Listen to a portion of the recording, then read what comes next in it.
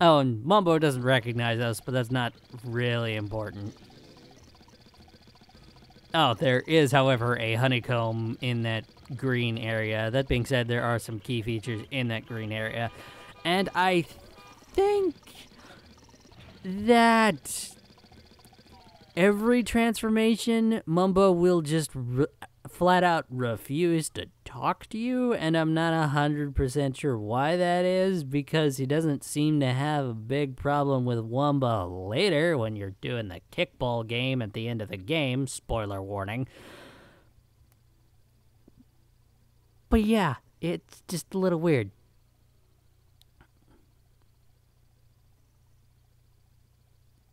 Anyway, let's get ourselves transformed back so that way we can actually do a few more things around here. We will be coming Mumbo a little later, but there's a few more things in the Inferno that we can do before then. Oh, wait, what? I was kind of under the impression that I couldn't use the warp pads as the, the uh, truck. I was lied to. All right, well, uh, forget what I said. Anyway, uh, jumping back into the pool will, of course, transform us back into the Baron Bird. And if you noticed, I was at kind of a weird angle when that happened. That's something that happens with the truck, and I'm not sure if it's just for the modeling or what. But anyway, moving on. I really should be using the warp pads more, but I, for some reason, outright refuse to use them at points. Moving on, um, we'll be going into the left passage first, mostly because this is an important area for a couple courses later, and you do want to have it done. That being said, this is probably one of the most, I'm to say, poorly designed rooms or challenging, uh, most challengingly designed rooms in this particular area. Why? The teeth will shave off your health if you're not careful. I would suggest using fire eggs or waiting for the ghost to pass over to give you light.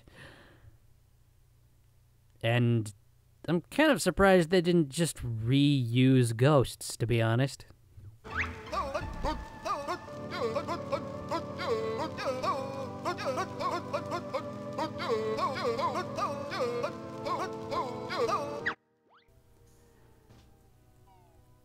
And with that sign read, we will be moving in here. This is actually the most common area that I have found the uh, little boy that needs to take damage in order to get to, and mighty evil dinosaur, ancient bearded camel, weird killer alien.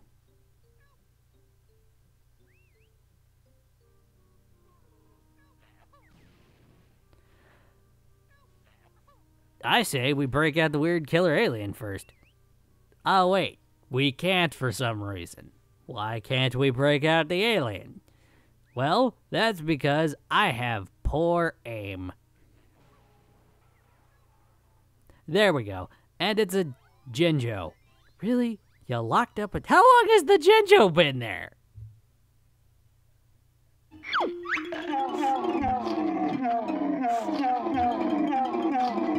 Huh? Huh? Huh?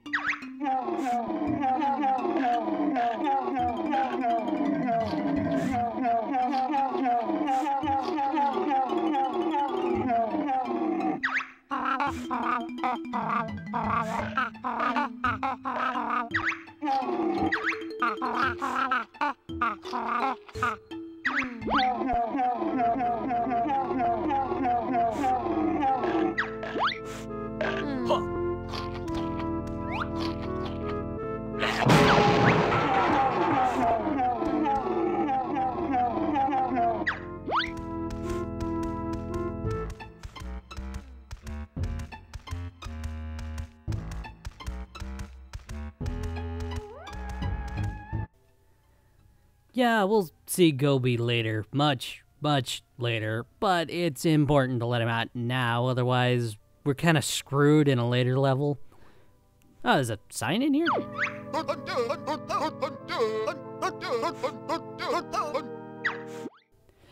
I guess that's how you're supposed to know to go to Madame Grunty's, but that's kind of a vague hint.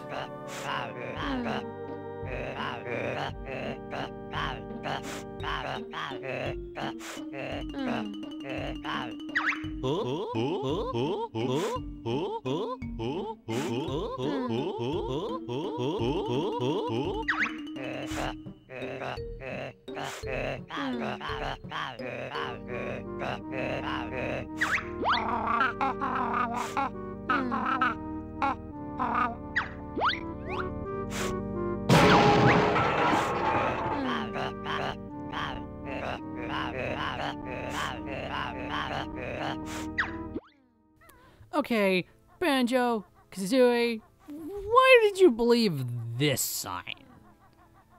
Ancient Bearded Camel was an old acquaintance of yours. Killer Alien was a frickin' Jinjo.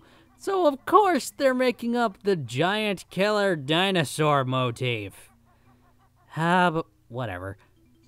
Oh, I'm gonna love it when I get a little bit. I'm gonna love it when I get that upgrade, but now we should bring Chuffy into the station so that way the dinosaur can ride shotgun on it until we get to uh, Terrydactyland for the most part.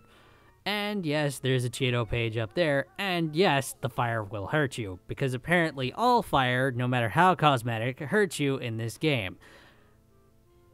I guess that makes sense, but it's kind of annoying. Okay, Frankenstein, just do me a favor and take a nap. Wait a minute, there are two of them here? I could have sworn there's only one in this area. Whatever. Uh, but what we do want to do is we want to go down this path and into the train station.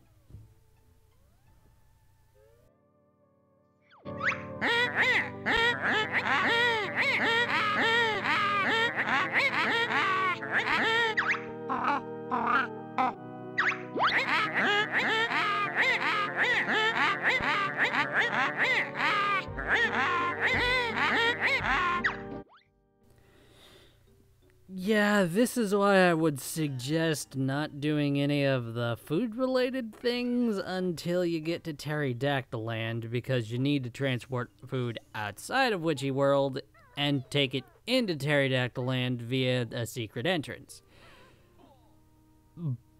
But to each their own. If you want to do them now, you can. I actually prefer doing them now and getting that little extra bit of dialogue. Otherwise, you completely miss it and you wouldn't know about it in the slightest. So, I can't remember what's up here. I think it's a Cheato page. Is it a Cheato page? I want to say it's a Cheato page. Oh, it's the train switch. That's right. Sorry, they place these in really random areas throughout the game, and it's just a little confusing at times. But yes, once you hit the switch, you open up the doors and you make the uh, way for the train that uh, old King Coal was running. And if you want to summon the train, you have to go to the sign.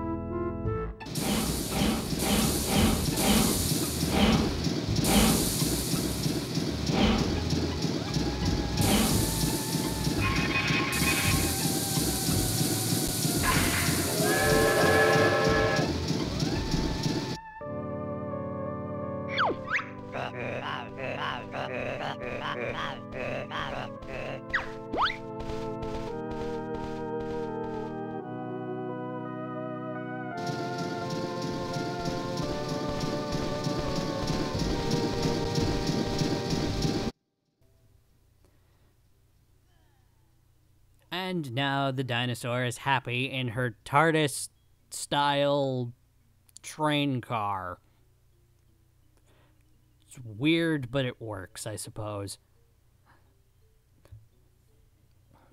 Speaking of the train, you can use it in order to transport yourself in between most levels. I think the only two that don't have train stations are the last one and level 4. But don't quote me on that. We'll be uh, showing that, we'll be showing off all the train stations and whatnot a little later.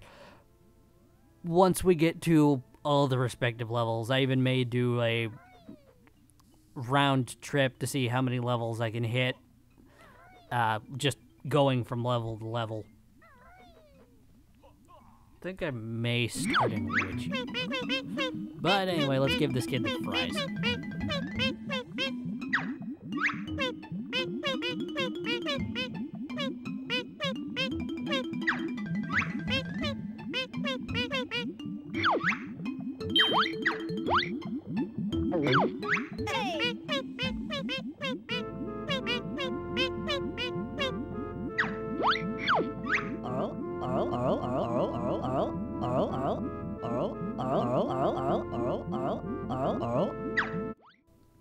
Yes, you do have one more child. However, he is too big to move on his own, which says something.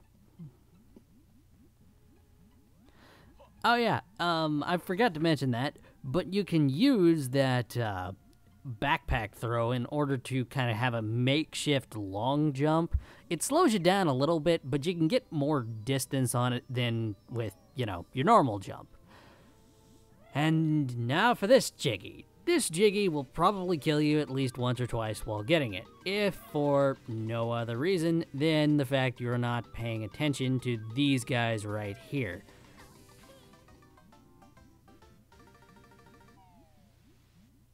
Or you just jump in the lava too much. That's also a possibility.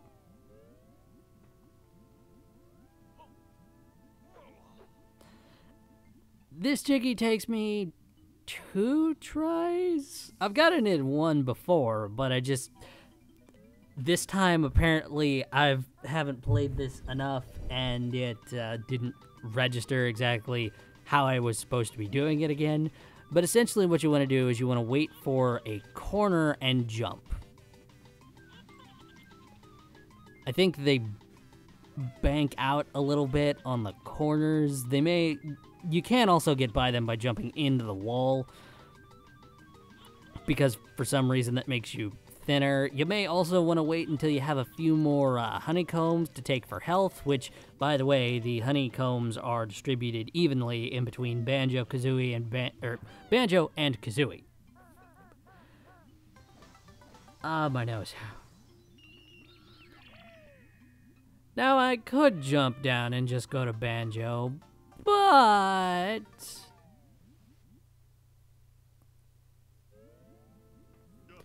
Okay, it's weird when her eyes stay open and she blinks, because that doesn't imply death, that implies consciousness and every bone in her body is broken. That's just morbid.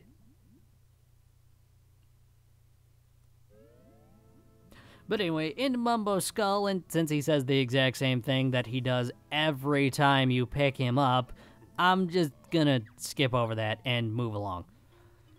Now, what we want to do is we want to turn on the three generators that are scattered about the level. The first one is in Area 51, if you remember correctly. This is also a good place to show off Mumbo's other ability. Up, uh, no, yes, up, his uh, electrical pulses tend to chase away enemies for some reason. I'm not entirely sure what it is. But, time for the song.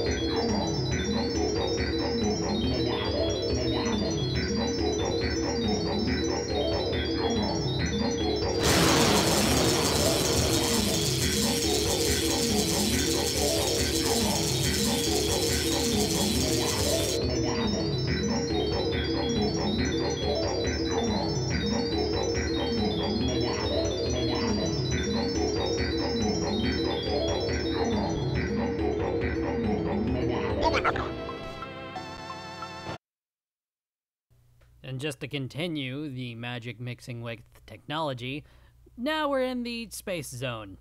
This is where the other generator is. Come up your oh, and your.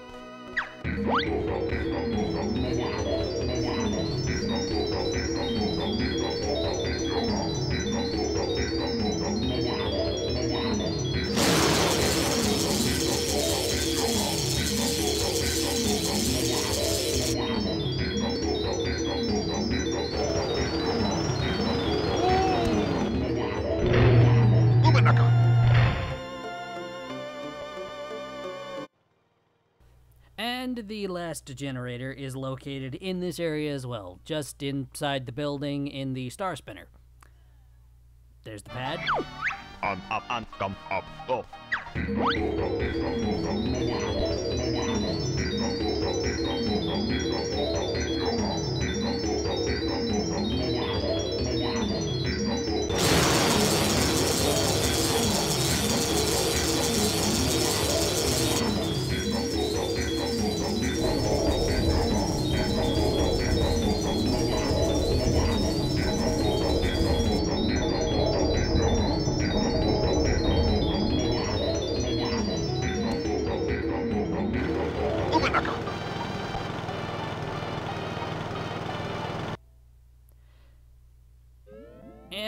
I'm just gonna cut directly back to Banjo and Kazooie because it's not like anything interesting happens with Mumbo. He doesn't get a whole lot of playtime and doesn't get to do a whole lot of stuff, but it's nice to play as him every once in a while. That being said, before we do anything, we'll be heading back to Wumba's because I just remembered that we can't really do anything right now. I mean, we could go in the Star Spinner right now, but I really want to get Dodge him first, so. Ah. See, this is what I mean by it being a very circular area. And just to prove we can't do anything and dodge him quite yet. Yeah, there's a pay box. Oh my god, I thought I was playing an old retro game, not one with microtransactions. At least this isn't real money, it's fake money. I can get behind fake money in a video game, just don't make me have to do it for real.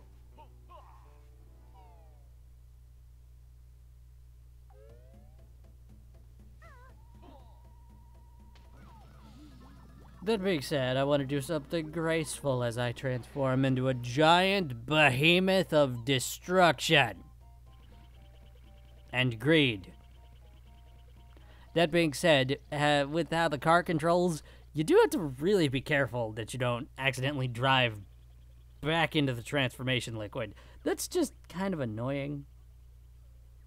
Just move on to the warp pad.